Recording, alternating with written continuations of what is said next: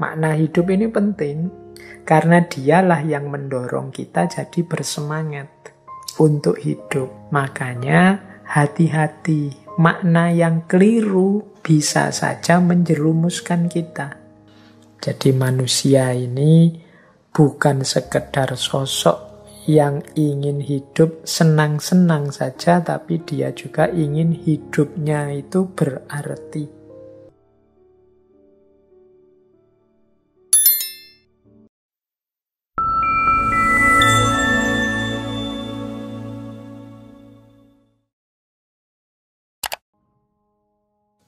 Assalamualaikum warahmatullahi wabarakatuh.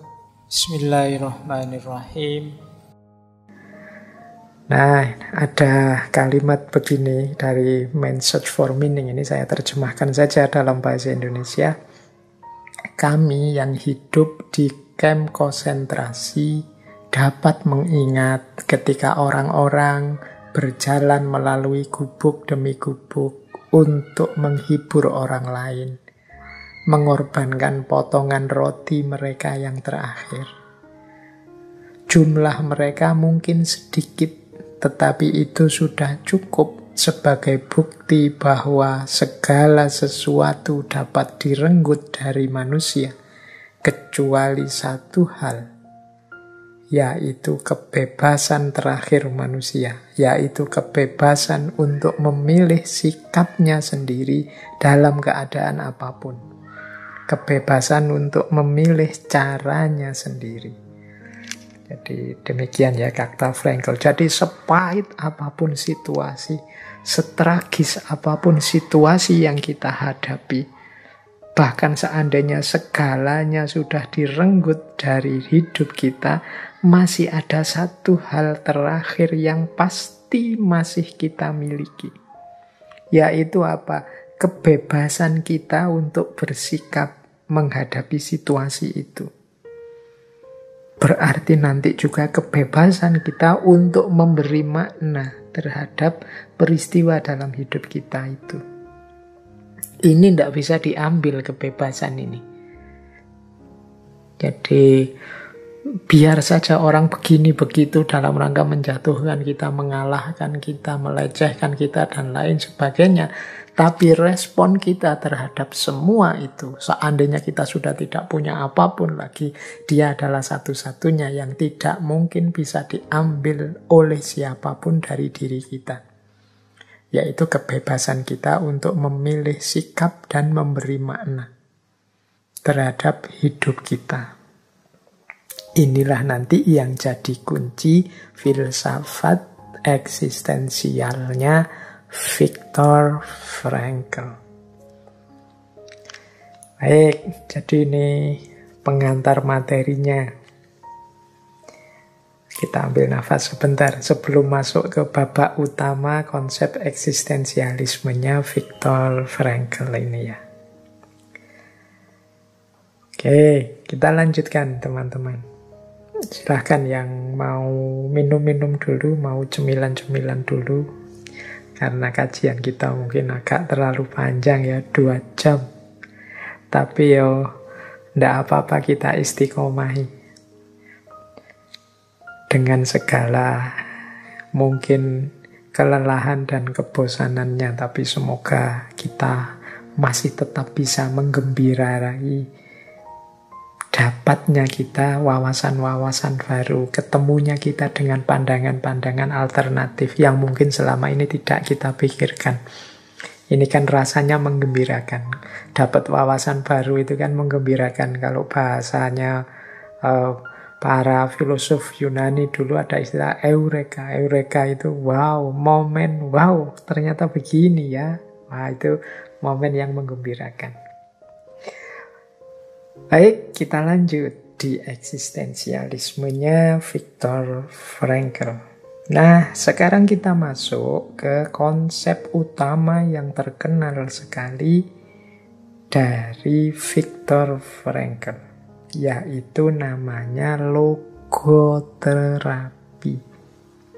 Logoterapi ini semacam analisis eksistensial ini satu teori yang diciptakan oleh Frankel sehubungan dengan bagaimana orang bisa hidup secara otentik dan lebih baik. Jadi logoterapi ini konsepnya tidak terlalu rumit, tapi lebih ke praktis. Dan ini dipakai oleh beliau dalam praksis-praksis beliau saat melakukan psikoterapi. Jadi ini nanti agak beda dengan Freud atau Nietzsche atau Adler, ini tokoh-tokoh yang disukai oleh Frankel. Tapi beliau punya rumus sendiri untuk melakukan psikoterapi. Beda dengan Freud dengan psikoanalisisnya. Beliau punya konsep logoterapi. Jadi logoterapi ini semacam terapi atau analisis eksistensial yang membantu seseorang menemukan makna sehingga dia bisa hidup secara otentik lebih baik dari sebelumnya. Seperti kita jelaskan tadi, kan banyak orang yang merasa hidupnya hampa, tanpa makna, tidak punya tujuan, gelap, tidak ngerti mau ke mana, dan lain sebagainya. Dan ini dialami tidak hanya oleh orang-orang yang serba kekurangan atau banyak masalah. Banyak loh orang-orang itu yang sukses sampai puncak, tapi dia merasa hampa. Tidak punya tujuan, tidak punya arah, tidak punya orientasi. Apa hanya begini hidup ini dan lain sebagainya. Nah, di situlah teori logoterapinya Viktor Frankl ini bisa kita gunakan untuk membantu mereka menemukan makna hidup sehingga mereka bisa hidup secara otentik dan lebih baik. Nah, ini Makanya saya bilang tadi ini lebih sifatnya praktis.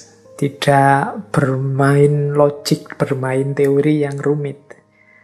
Baik, makanya ini saya taruh di terakhir. Siapa tahu di antara teman-teman malam hari ini yang kesulitan menemukan makna, konsep-konsep dari Viktor Frankl ini bisa membantu kita.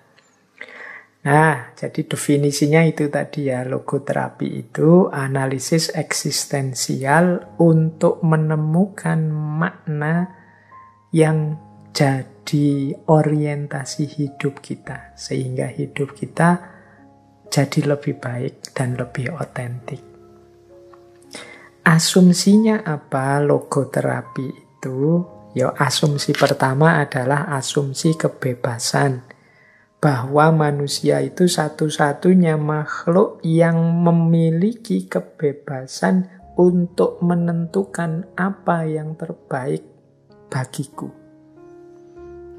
Setiap orang punya kebebasan membangun makna sesuai apa yang dia inginkan. Ini asumsi pertama. Jadi hidup ini maknanya apa itu kan kita masing-masing yang membentuknya antara saya dan teman-teman itu kemungkinan juga tidak sama. Bagiku yang penting, yang utama, yang urgent ini, bagi teman-teman mungkin beda. Dan itu dasarnya apa kok bisa beda? Ya karena manusia punya kebebasan. Kemudian asumsi kedua dari logoterapi ini adalah bahwa motivasi hidup manusia yang paling utama itu adalah makna hidup. Bukan senang-senang, bukan ingin berkuasa, ingin menang atas yang lain, tidak. Jadi kata Viktor Frankl, enggak. Manusia itu justru pendorong utamanya untuk hidup motivasi utamanya untuk bersemangat tetap hidup itu makna. Loh Pak, kenapa ada orang kok tujuan hidupnya senang-senang?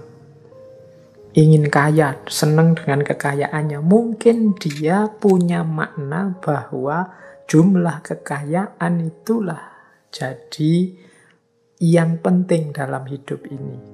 Jadi kuncinya tetap ada pada makna. Sementara orang lain menganggap justru harta itu menghalangi kebahagiaan, kesenangannya karena dia harus menjaganya, harus repot mengejarnya dan lain sebagainya. Jadi kuncinya ada pada makna.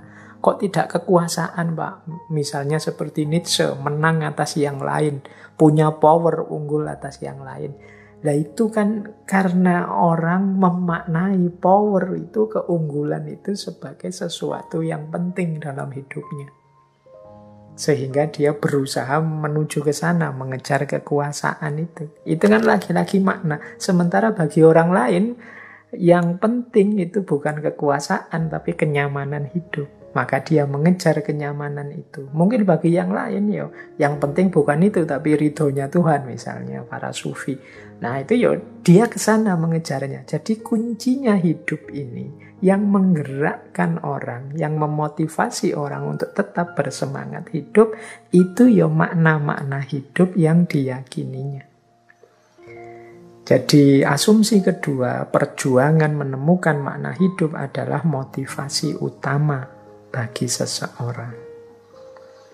Nah, jadi kuncinya ternyata makna.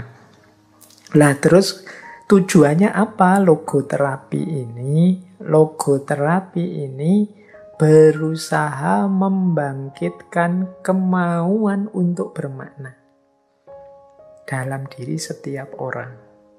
Ya seperti tadi ya kan banyak orang yang merasa hidupnya hampa. Banyak orang yang merasa hidupnya tidak bermakna. Maka dengan logoterapi ini maunya Frankel kehendak untuk hidup bermakna itu bangkit lagi. Jangan sampai orang-orang merasa bosan hidup, tidak mau melanjutkan hidup karena menganggap hidup ini apa gunanya, tidak ada artinya. Di situlah pentingnya logoterapi menurut Frankel. Nah, logoterapi ini beda dengan teori-teori psikologis atau eksistensial yang lain. Kalau teori-teori psikologis sebelumnya, misalnya psikoterapi, itu kan orientasinya ke masa lalu. Kalau teman-teman ngerti psikoanalisisnya Freud itu kan kembali ke masa lalu, timbunan-timbunan bawah sadar dibongkar yang mempengaruhi hidup kita.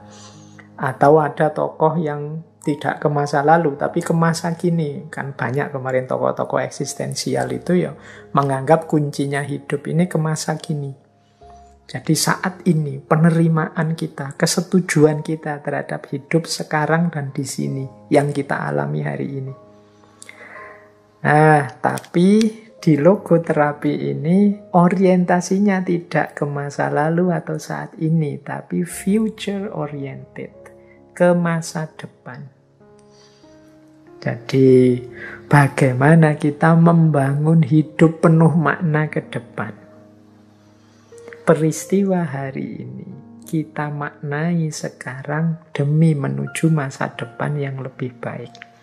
Inilah logo terapi. Jadi, tidak sibuk dicengkeram oleh masa lalu, tidak pasif menyerah dengan situasi yang dihadapi saat ini, tapi kita bangun makna, kita tetapkan tujuan sesuai makna yang kita tetapkan tadi demi masa depan yang lebih baik. Jadi inilah yang diinginkan oleh logo terapi. Hasilnya apa? Kalau sukses logoterapi ini ya tentu saja orang menemukan jalan hidup yang penuh makna.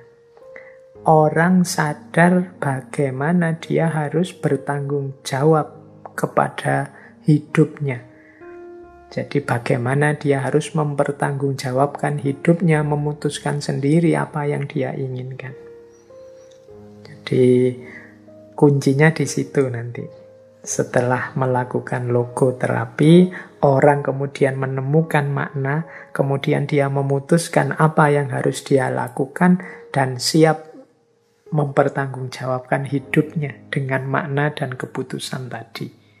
Inilah yang dimaksud hidup yang eksis. Hidup yang otentik sebagai diriku sendiri. Aku membangun makna hidup sesuai yang aku inginkan, kemudian aku putuskan apa yang harus aku lakukan, dan aku siap bertanggung jawab terhadap apa pun resikonya. Inilah hidup yang eksis, hidup yang otentik. Ke sinilah maksud dari logoterapi tadi.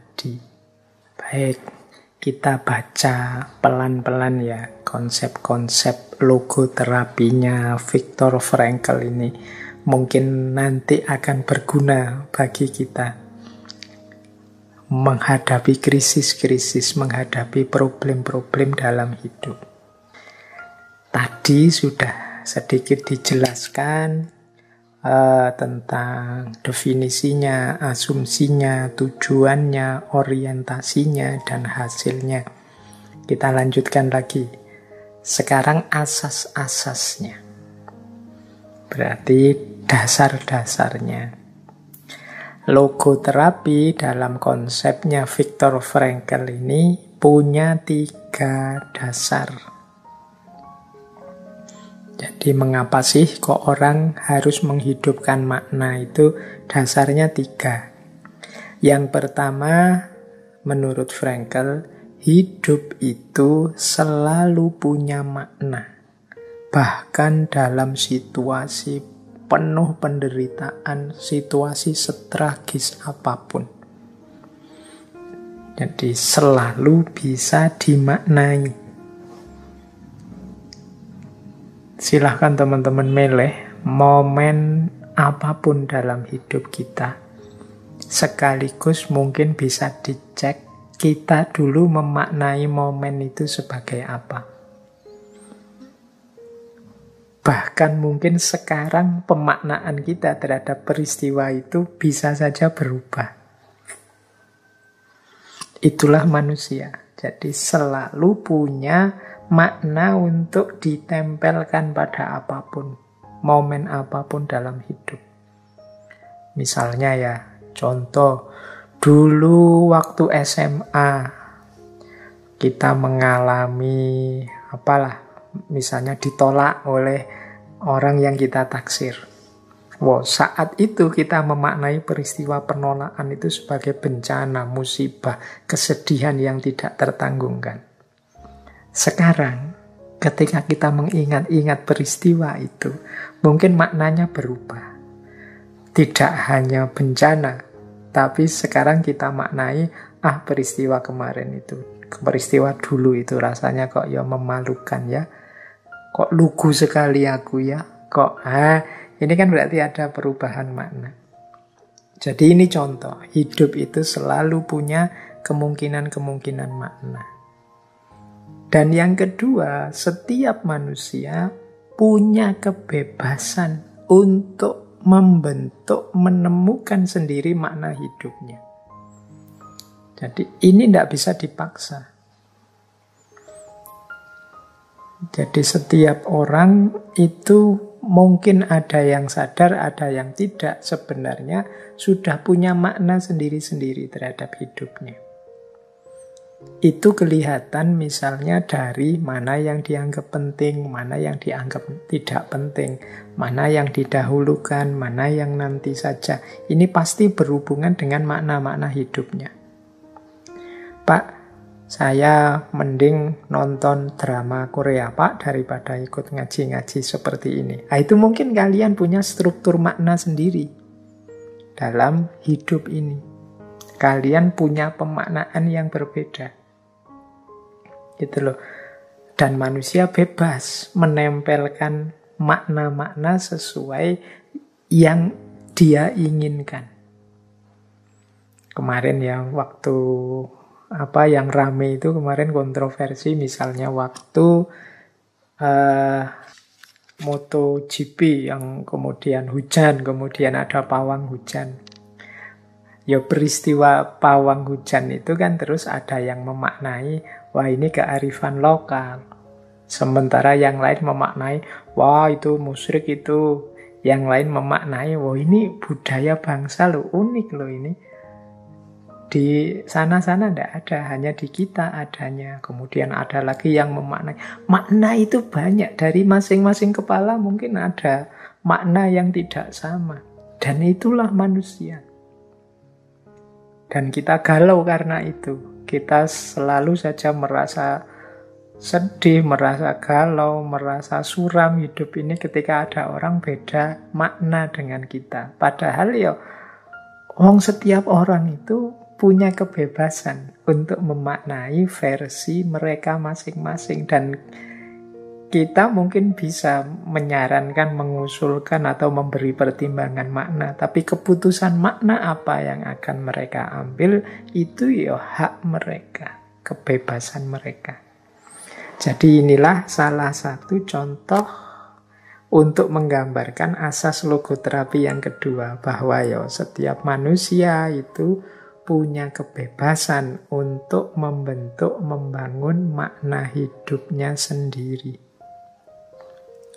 Yang ketiga, setiap manusia punya kemampuan untuk mengambil sikap atas penderitaan atau peristiwa tragis yang tidak dapat dielakkan. Bila kita tidak bisa merubah keadaan, kita bisa merubah sikap atas keadaan itu.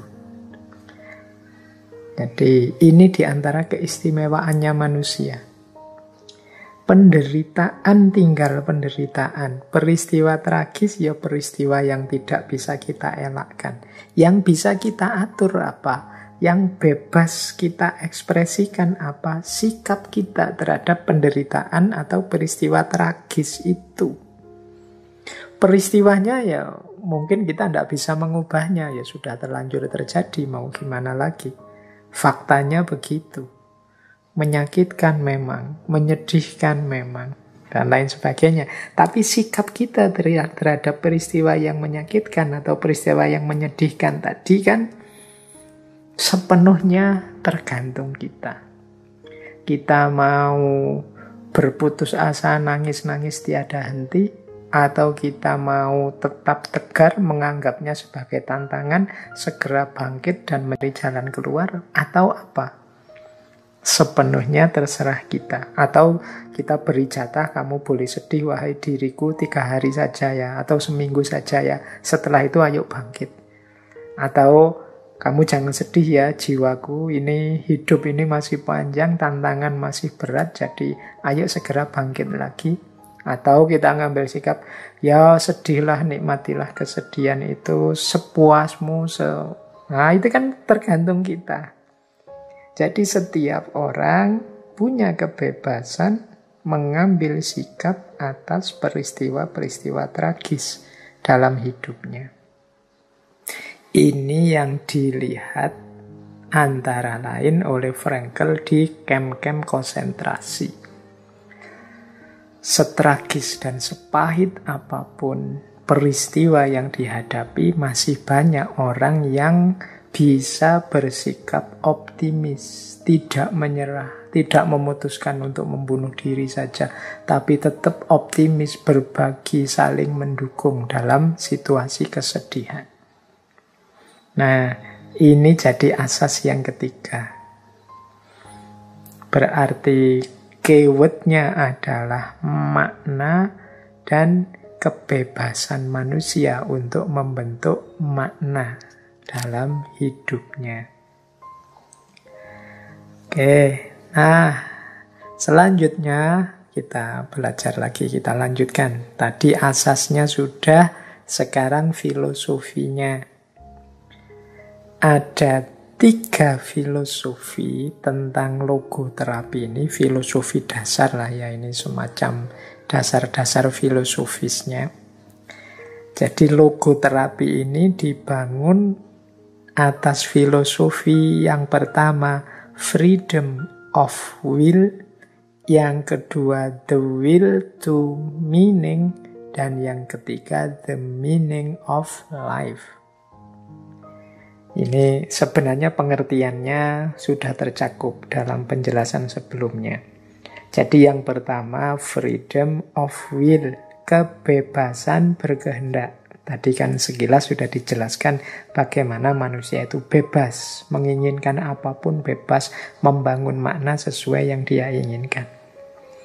Yang agak ditekankan oleh Frankel ketika beliau menjelaskan kebebasan ini adalah bebas itu bukan berarti manusia bisa sesukanya, tapi di balik kebebasan ada tanggung jawab. Maka dalam pemikirannya Frankel, bebas itu tidak hanya freedom from, tapi juga freedom to. Tidak hanya bebas dari, tapi bebas untuk. Selama ini kan kita selalu memahami itu bebas itu ya bebas dari. Tapi kata Frankel lebih penting lagi bebas untuk. Kalau bebas dari itu mungkin uh, indikasi dan kategori-kategorinya lebih mudah dipahami. Wah, saya masih terjajah ini, saya terzolimi ini, saya uh, apa terpenjara, tidak bisa berekspresi. Ini kan kelihatan. Perjuangan pembebasannya kelihatan. Kalau freedom from. Yang agak sulit itu freedom for. Freedom for itu memerlukan kreativitas, memerlukan kemandirian, memerlukan pertanggungjawaban. Yang ini tidak semua orang punya kapasitas. Banyak orang dibebaskan melakukan apa saja, tapi terus dia bingung. Apa yang harus saya lakukan? Nah ini dari sini kelihatan ya, freedom to atau bebas untuk itu tidak sederhana. Seolah-olah mudah. Kan berarti saya bebas Pak, milih apa pun. Itu tapi kita sadar kan, dalam pilihan itu dibaliknya ada tanggung jawab. Maka kita khawatir keliru. Kuatir tidak cocok, kuatir tidak pas. Jadi versinya Frankel ya kebebasan manusia dalam hal ini lebih banyak difokuskan pada kebebasan untuk melakukan sesuatu. Kadang-kadang ada yang minta saya untuk bicara panitia-panitia itu terus Pak Faiz judul kajian kita terserah Pak Faiz saja ya. Terus biasanya saya kembalikan lah kok terserah saya yang punya keinginan kan kalian. Silahkan kalian milih bebas saja. Kalian ingin tema apa yang kalian inginkan, yang kalian rasa saya mampu bicara, monggo. Tapi terus mereka merasa khawatir keliru, khawatir tidak pas, khawatir tidak cocok, khawatir salah pilih. Tetap kemudian tidak apa-apa pak, terserah bapak saja.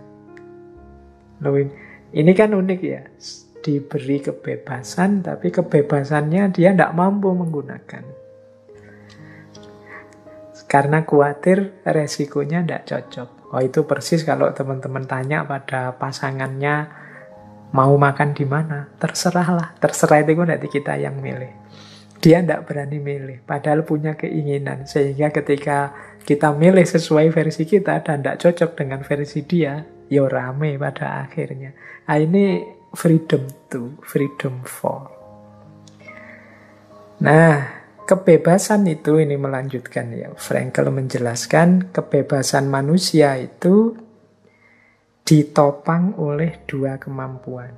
Kalau kita ingin mengimplementasikan kebebasan kita dengan bagus, dengan pas, sesuai, ya kita harus mampu yang pertama mengambil jarak dari situasi sekeliling kita dan yang kedua bahkan mengambil jarak dari diri kita sendiri sehingga kita bisa membaca situasi secara lebih objektif tidak salah pilih ini dalam naga freedom to tadi Nah, saya lanjutkan. Jadi yang pertama, filosofi dasarnya logoterapi itu freedom of will. Kebebasan untuk berkehendak. Filosofi yang kedua adalah the will to meaning. Jadi keinginan atau kehendak untuk hidup bermakna. Jadi manusia ini bukan sekedar sosok yang ingin hidup senang-senang saja, tapi dia juga ingin hidupnya itu berarti. Bahkan kata Frankel seperti saya jelaskan tadi di depan manusia itu lebih sebagai makhluk pencari makna. Tidak sekedar pencari kesenangan atau pencari kekuasaan. Jadi ini filosofi dasar yang kedua. Berarti manusia itu bebas, sementara dia adalah makhluk yang ingin hidup bermakna. Dan filosofi yang ketiga adalah the meaning of life, tentang makna hidup. Makna hidup itu, sejak tadi kita bilang makna-makna itu maksudnya begini loh, makna itu sesuatu yang kita anggap penting, benar, dan bernilai dalam hidup ini. Jadi, misalnya kita mengusung makna hidup sebagai damai, perdamaian misalnya. Itu nanti akan beda sikap dan perilaku dengan orang yang mengusung makna hidup adalah kemenangan atau keunggulan. Dengan orang yang mengusung makna hidup adalah kesenangan. Jasmaniah misalnya. Kaya, kemudian uh, punya banyak harta, punya rumah, mobil sekian. Nah ini pancangan-pancangan makna. Makna hidup ini penting karena dialah yang mendorong kita jadi bersemangat untuk hidup. Makanya hati-hati, makna yang keliru bisa saja menjerumuskan kita. Makna yang tidak pas bisa saja nanti malah menyusahkan kita. Misalnya ya, kita menempatkan makna besar bahwa hidup ini eksis itu berarti terkenal.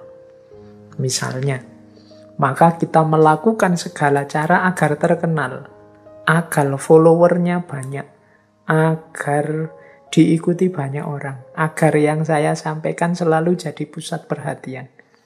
Seperti hari ini kan ini hari ini peradaban kita peradaban citra.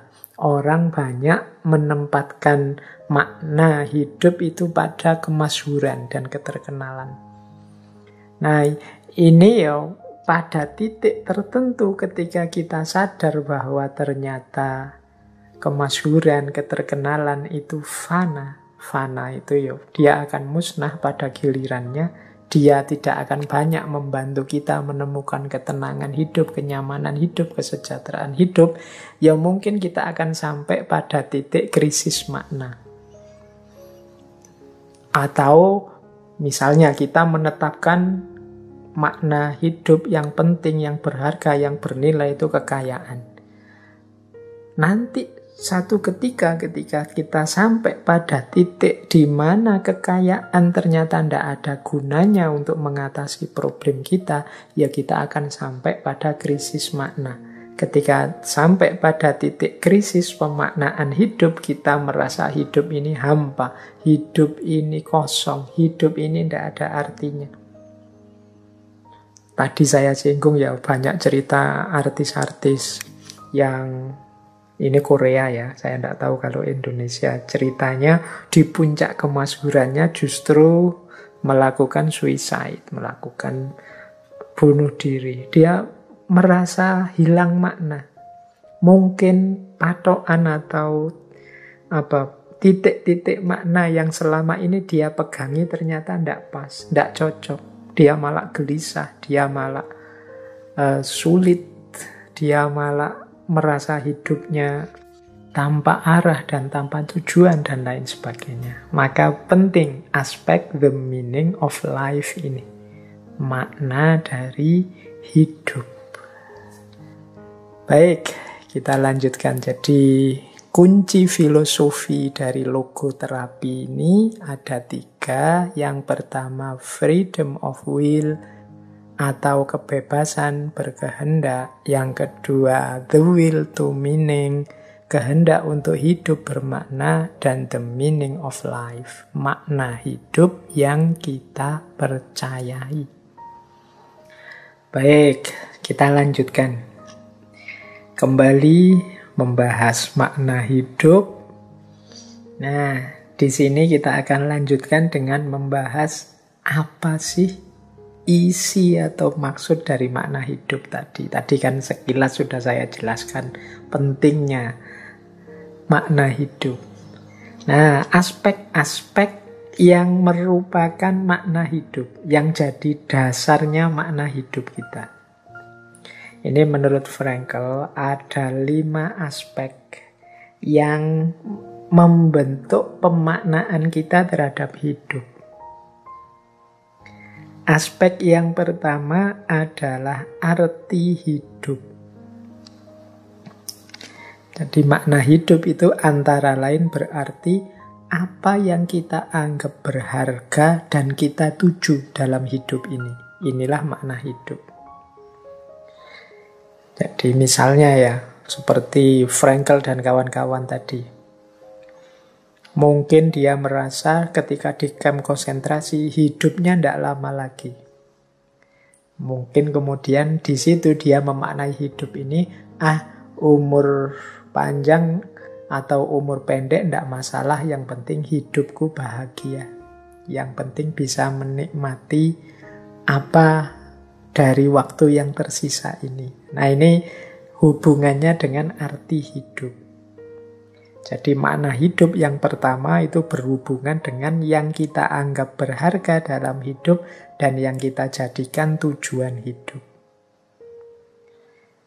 Yang kedua, makna hidup itu berhubungan dengan kepuasan hidup. Jadi penilaian kita terhadap hidup ini. Kita puas enggak? Atau kita kurang puas enggak? Sejauh mana kita nikmati, kita puasi hidup kita ini. Ini kepuasan hidup. Jadi makna hidup itu penilaian kita terhadap hidup kita sendiri. Bagaimana sih hidup yang membuat kita puas itu? Nah, ini nanti berhubungan dengan makna hidup. Hidup puas itu ya kalau saya sukses, dapat gelar doktor, kemudian punya harta banyak, punya anak, punya istri yang sejahtera misalnya. Jadi makna hidup berhubungan dengan kepuasan hidup. Yang ketiga, makna hidup juga berhubungan dengan kebebasan. Jadi berarti apa? Kita bebas mengekspresikan, menentukan apa-apa yang kita anggap berharga atau bernilai.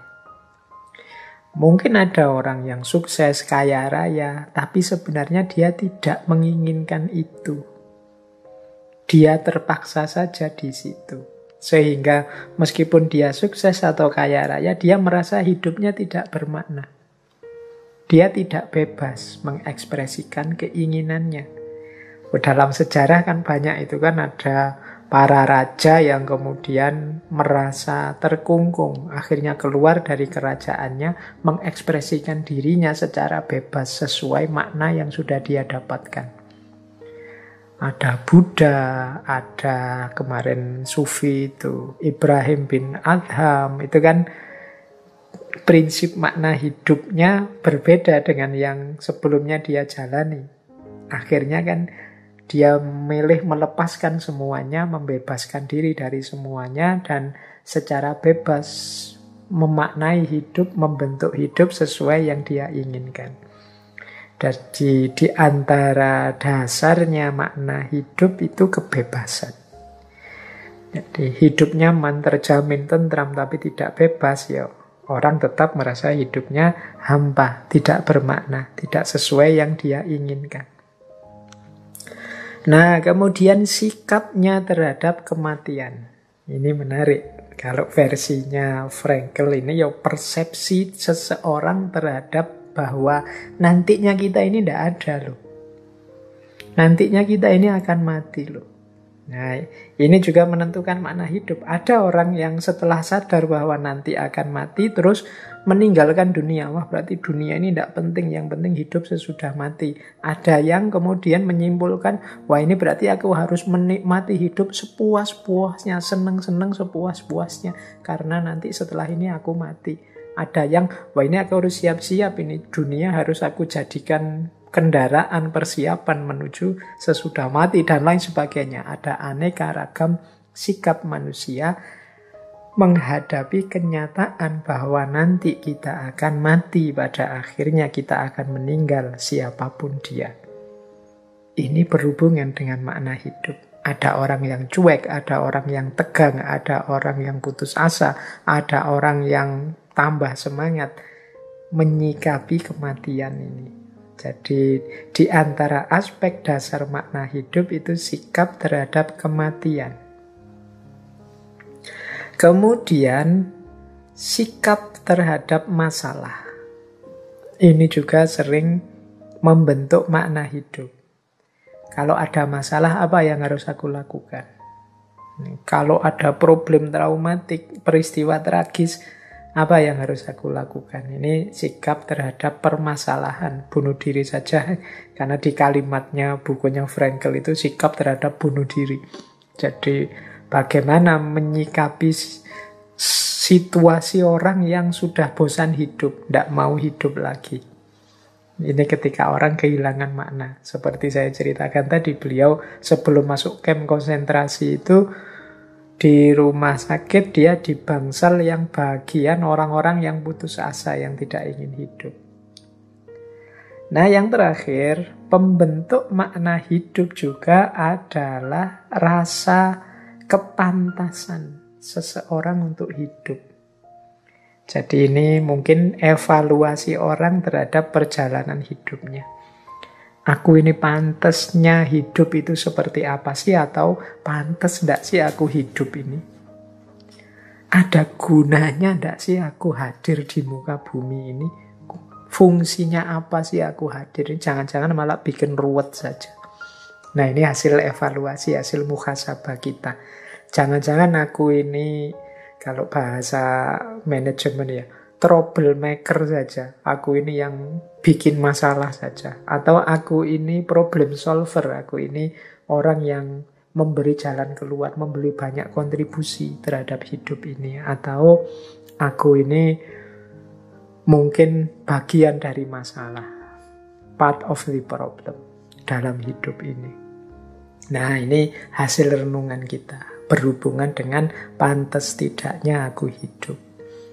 Jadi ini dasar-dasar unsur-unsur makna hidup. Jadi makna hidup itu arti hidup, kepuasan hidup, kebebasan memutuskan, sikap terhadap kematian, sikap terhadap masalah, dan juga kepantasan untuk hidup.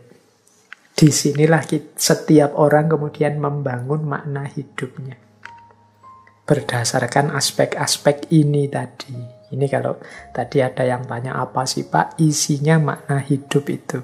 Ya isinya makna hidup itu arti hidup. Jadi mana yang kita anggap bernilai dan mana yang kita tuju. Termasuk kepuasan hidup, penilaian kita terhadap sejauh mana kita selama ini puas atau tidak dengan hidup kita. Termasuk kebebasan pilihan hidup, sikap kita terhadap kematian, sikap kita terhadap masalah, dan penilaian kita tentang kepantasan hidup kita.